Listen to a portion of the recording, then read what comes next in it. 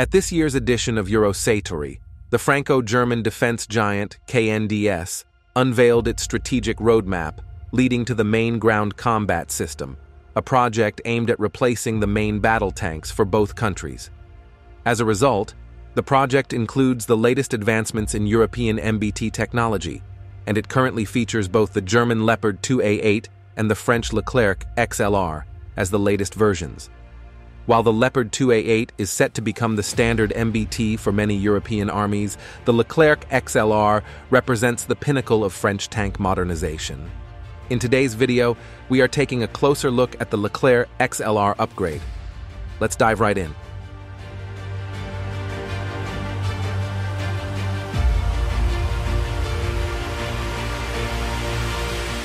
The Leclerc main battle tank, introduced in the early 1990s, has been a key asset in France's armored forces. Manufactured by Nexter Systems, the MBT has long been renowned for its advanced firepower, mobility, and protection.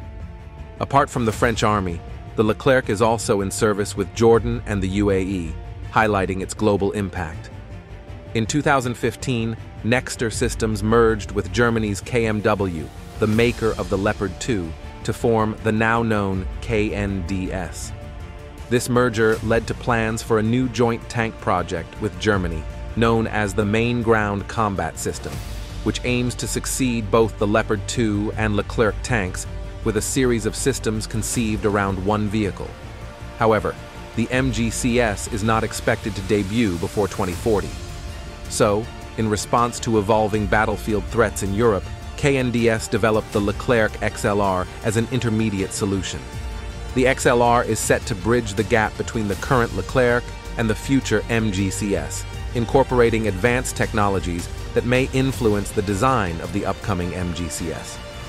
Currently, the French Army operates 222 Leclerc tanks, with an additional 184 in storage, bringing the total to 406 units.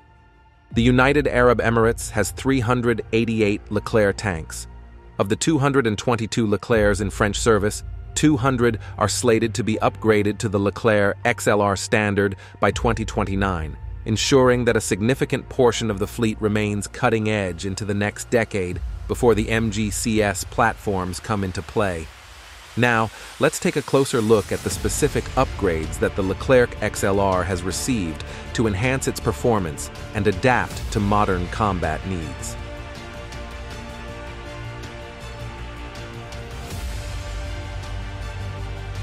The Leclerc XLR's communication systems have been significantly modernized. The tank integrates the Scorpion Vetronics architecture, including the Thales tactical radio system and the Scorpion information and command system. This networked architecture enhances situational awareness and command control capabilities, allowing for seamless communication with other Scorpion program vehicles like the Griffon, Jaguar, Serval, and eventually even Tiger Mk3 attack helicopters. The electronic systems are also designed for future upgrades, ensuring long-term connectivity. The Leclerc XLR also features several protection upgrades. The tank now has modular armor on the turret and hull, including additional rear wire cage armor to protect the engine compartment. These enhancements provide improved defense against threats such as improvised explosive devices and rocket-propelled grenades. Mobility has been enhanced in the Leclerc XLR to maintain its high performance. The tank features an off-road speed of up to 72 kilometers per hour and a power-to-weight ratio of 24 horsepower per ton. It is powered by a 1,500 horsepower engine and includes a new hydropneumatic suspension system for better maneuverability. Crew safety has been a priority in the Leclerc XLR's design. The driver shell magazine, which previously stored 18 cannon shells, has been removed to reduce the risk of ammunition detonation near the crew compartment. This modification lowers the tank's ammunition capacity to 22 rounds, stored in the autoloader magazine in the turret's rear niche. The tank also features an automatic fire extinguishing or suppression system and a fully digital shooting control system. The Leclerc XLR retains its main 120mm smoothbore gun and now includes a remotely operated 7.62mm machine gun on the turret for improved close-in defense. The Leclerc XLR upgrade now features the latest generation Paseo panoramic sight for the commander, offering day and night stabilized observation capabilities. The gunner's sight has been enhanced with advanced optronic sensors and new electronics, improving target detection, identification, and engagement over long distances. The Leclerc XLR is a critical component of France's armored capabilities, ensuring the French army remains at the forefront of modern armored warfare.